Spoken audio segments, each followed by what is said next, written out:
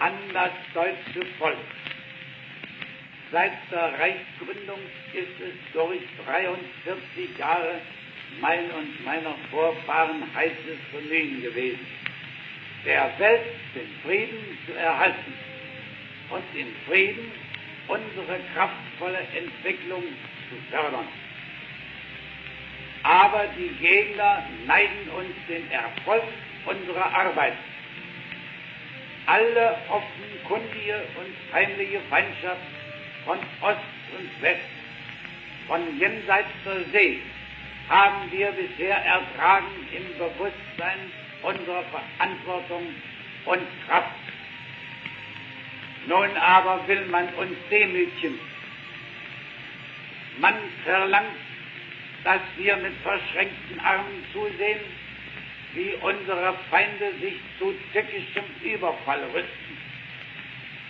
Man will nicht dulden, dass wir in entschlossener Treue zu unserem Bundesgenossen stehen, der um sein Ansehen als Großmacht kämpft und mit dessen Erniedrigung auch unsere Macht und Ehre verloren ist. Es muss denn das Schwert nun entscheiden. Mitten im Frieden überfällt uns der Feind. Darum auf zu den Waffen.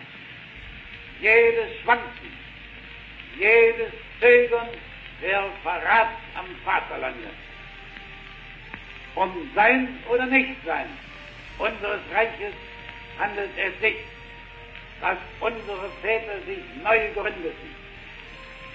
Um Sein oder Nichtsein deutscher Macht und deutschen Lebens.